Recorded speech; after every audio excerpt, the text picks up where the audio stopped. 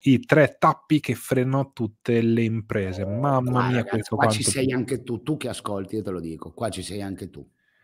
Perché tutte le imprese, nessuna esclusa, io non ho mai incontrato un'azienda che non abbia questo problema, hanno del fatturato marcio che blocca le risorse e fa perdere guadagni di mese in mese. Ne ho parlato anche nella puntata se il fatturato puzza, l'azienda non crescere sul canale, la puoi trovare tranquillamente, gratuitamente su Facebook, YouTube e tutti i nostri social. Tappi, tappi che bloccano la tua crescita, che, che, che ti, che, ti, che ti ammorbano, ok? Che, che ti bloccano lì dove stai. Il tappo numero uno, il peggiore che è anche più frequente, è il pessimo cliente. Ma che bella immagine che ho trovato, Umberto. Ce lo immaginiamo. Il più frequente, ma anche quello meno riconosciuto. Quando io faccio, sono in consulenza con i clienti, ti posso garantire che quando io parlo di pessimi clienti, sì, tutti capiscono il concetto, ma poi è molto difficile riconoscere chi è il pessimo cliente perché il calcolo è matematico, cioè non è quanto ti sta simpatico o no. Il calcolo per riconoscere un cliente buono da un cliente pessimo è matematico. E E devi tenere traccia dei dati. e la matematica non piace molto agli italiani. Quindi cos'è questa cosa qua? È il pessimo cliente che porta via tempo ed energie, ti riempie di richieste assurde, torna sulle cose, eh, ti, ti- ti- ti- porta via tempo, energia emotiva, energia mentale terrificante. E tutti noi lo, lo conosciamo, cioè tutti noi lo patiamo, patiamo questa condizione, di la verità, e, e- e- pensiamo di non poterne fare a meno. Pensiamo che Eh, sia così. ci serve, ci serve quel fatturato, no? Eh sì, è vero, rompo i coglioni, però alla fine, dai, lo devo inseguire un po', ma alla fine paga.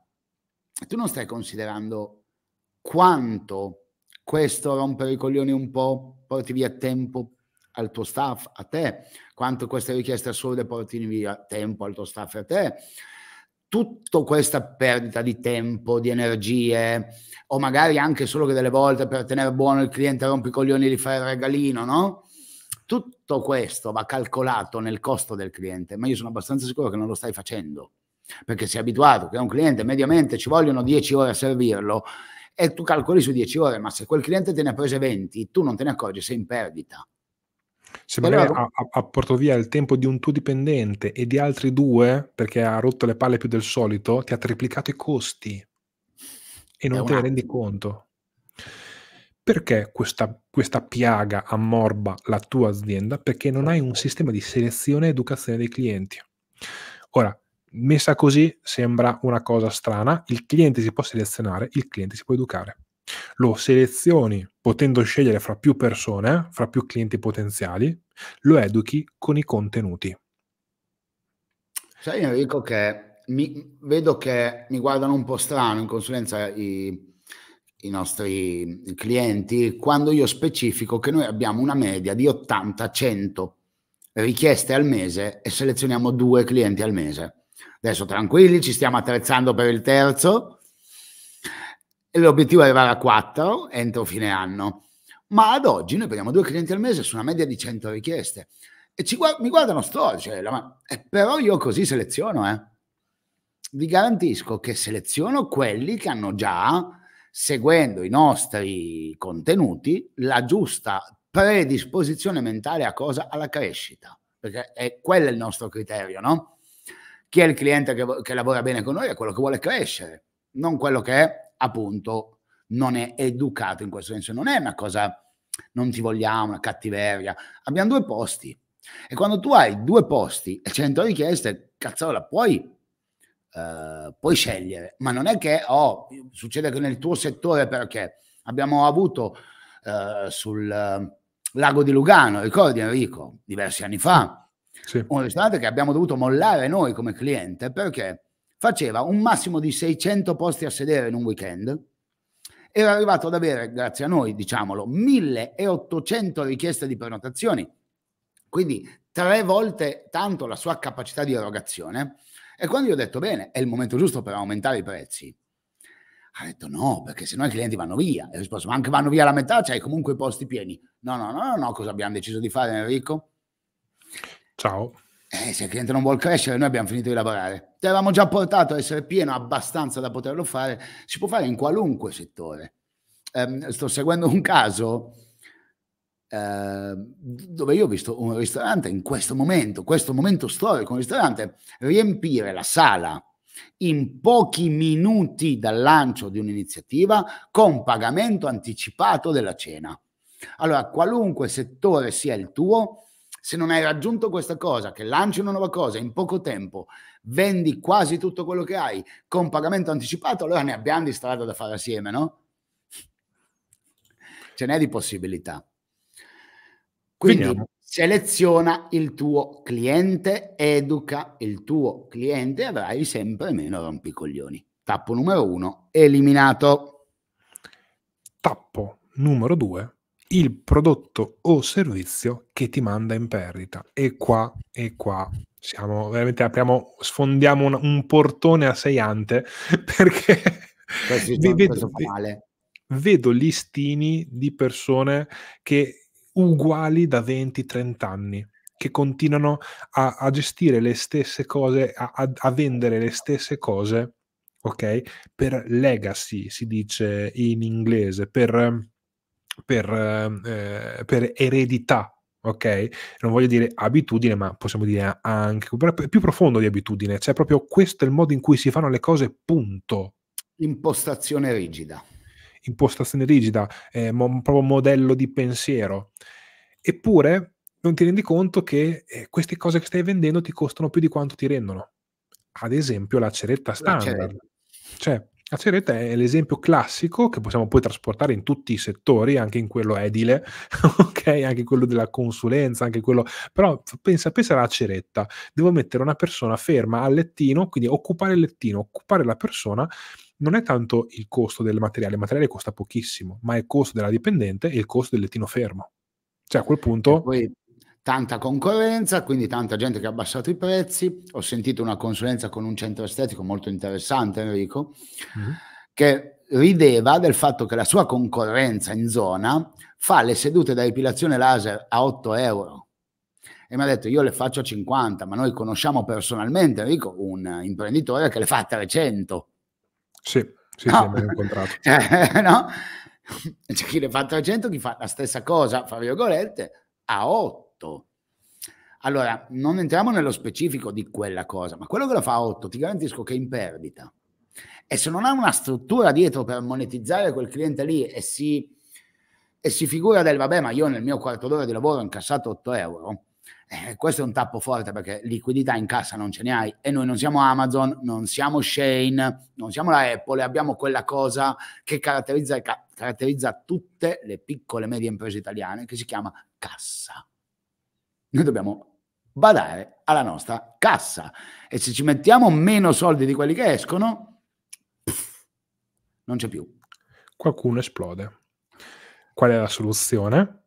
o elimini quel servizio o se proprio non proprio non lo puoi eliminare perché è vitale nel, nella, nella, costruzione del tuo settore, del tuo, del, del, della tua azienda specifica, crei dei pacchetti in cui lo inserisci associandolo ad altre cose, prodotti o servizi che ti portano un guadagno. Oh, sapessi Enrico che caso studio che avremo tra un po' su questa cosa, dammi ancora un attimo. Sì, sì, sì, ancora qualche mese, e poi proprio su questa cosa ci, ci divertiamo. Proprio questa cosa qua specifica dell'estetista, ma non possiamo entrare nello specifico perché sennò poi copiano l'idea per Christian, no? Christian se la prende. Eh, che, che Christian possiamo dirlo, adesso poi vedremo, fra, esatto. fra, lo, lo costruiremo fra un annetto, ci divertiremo un sacco. Caso numero B, magari dei prodotti che confondono il cliente e disper- disperdono il buon fatturato. Io ho visto attività che vendono e riparano le scarpe. Cioè, io ti, ti cerco di... Eh, un difetto dei, dei, sarti è che parlano a più tipi di aziende diverse, quindi magari è difficile fare casi specifici nel tuo settore, ma solo perché non so di cosa, cosa stai lavorando, lavorando, basta che entri in consulenza e i casi li facciamo tranquillamente. E cerca di portare nel tuo settore quello che ti stiamo parlando. pensa a un'azienda che vende scarpe e le ripara. In questo modo attira fatturato scarso. Cioè, la persona che vuole comprare la scarpa per sentirsi figo e quindi è disposta a pagare 3, 4, 500 euro per un paio di scarpe, non vuole andare in un posto in cui le riparano, gli, gli fa povero. Eh sì. ed è pieno, pieno, pieno. Addirittura ho trovato un posto che vendeva vestiti e vino una volta. E... davvero ha chiuso poi, sai Umberto? È un conto se fai un pub, un bar e dentro ci sono i gatti, no? Va bene. Cioè, è, I gatti stanno bene con tutto, sì. No, ma è, è, un esempio buono perché non è che non devi mischiare le cose, le devi mischiare sensatamente. Vestiti e vino, cioè, permettimi di dire che io cliente dico non saprai un cazzo di vino, un cazzo di vestiti se li hai messi assieme, no? Non compro da te. Non sei affidabile. Se invece mi dici c'è un bar ci ho messo dentro i gatti, dico andiamo nel bar dei gatti. Ce n'è uno in Italia, è uscito su tutti i giornali, no? Quindi quant'è unicità quella? Altissima, altissima. Ma lo avremo anche noi prima o poi, Enrico. E veniamo infine al tappo 3, l'ultimo punto di questo blocco, procedure che portano via tempo e soldi. Qua mi devi dare un po' di fiducia perché è, è un qualcosa di oscuro la maggior parte delle aziende italiane. Cosa intendiamo? Scusa, Enrico, scusa, scusa, lo devo dire. Questo punto qui è quello su cui Enrico mi rompe le palle di più tutti i giorni e fa bene, perché l'operatività dell'azienda è fatta di procedure e se non tieni grande controllo delle procedure non ti rendi conto dove sono i buchi. Enrico tutti i giorni mi martella su questa cosa e fa bene perché mi paga per questo e profumatamente. Quindi è giusto che io stia molto attento a questa cosa, no? Ma perché? Proprio perché non si vede facilmente. Quindi davvero tu che stai seguendo un po' di fiducia perché o analizziamo la tua azienda dall'interno o ti dico già fai un po' fatica a vederle queste cose se non le hai già analizzate. Quindi ci serve a farti capire cosa devi osservare. Esempio di procedure. Cosa succede quando un cliente entra nella tua struttura? Qual è la procedura per prendere quel cliente e monetizzarlo? Cosa succede quando un nuovo dipendente viene assunto? Qual è la procedura perché quel dipendente vada a rendita nel minor tempo possibile, nel miglior modo possibile? O i dipendenti, come i clienti, possono farti perdere un sacco di tempo se tu non li segui. No? Eh, cosa succede quando una persona chiede informazioni? Questa è la più facile, no? Chiede informazioni oggi, quando gli rispondi? Sei strutturato per rispondere velocemente o no? Questa è la più facile da spiegare, Enrico, perché è quella che è più evidente. No, ma chiesto un'informazione rispondo domani. Adesso voglio mostrarti come la maggior parte delle aziende mi sembra. Cioè io, io quando vado in un'azienda vedo questo. Vedo uno scolapasta. Un, un secchio, perché lo scolapasta è un, un secchio, bucato, che, che, se lo guardassero gli alieni direbbero ma che cazzo serve? no, perché devo, è un secchio. Eh? non hanno mai visto la pasta gli alieni. Esatto, no? ma, eh, fa ridere no? perché lo scolapasta serve solo per la pasta, ma un secchio serve per tantissime cose. Ma la tua azienda è uno scolapasta. Perché se ogni situazione che si presenta alla tua impresa viene gestita così come viene, stai sprecando tempo, fatica e fatturato. Ma questo non sono io a dirtelo, non devi, credere a sto tipo con la barba lunga e cap- cappellone. Le aziende che crescono ogni mese hanno procedure specifiche per ogni situazione. Cioè c'è un manuale che dice alle persone cosa fare in ogni caso. Io mi ricordo ancora questo, questo locale a Bologna, scoprì che nessuno sapeva come riattaccare la luce se saltava la luce, solo una persona che però non era lì sempre. E io ho detto, ma quindi quando salta la luce che succede? Boh, boh. Cioè, non, non, lo sanno. cioè, ed è una puttanata. Eh. Oppure uh, questo, questo, posto in cui è, andata una persona a lavorare e non sapeva dove stavano le scatole per fare i pacchi e quindi i clienti aspettavano e se ne sono andati perché non sapeva dove trovare quella cosa lì specifica. Cioè, le aziende italiane sono degli scolapasta perché affrontano la quotidianità senza organizzazione.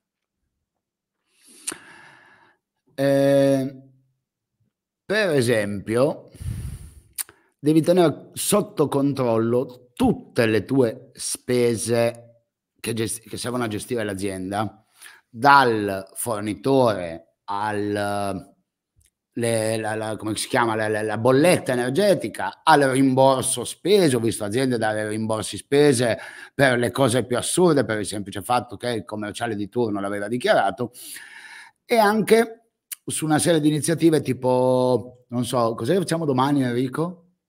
Ah, domani ci, ci, ci divertiamo e andiamo a... Mm, ci vediamo con tutti quanti i sarti andiamo a mangiare fuori e prima andiamo in un, una, una, mostra delle illusioni.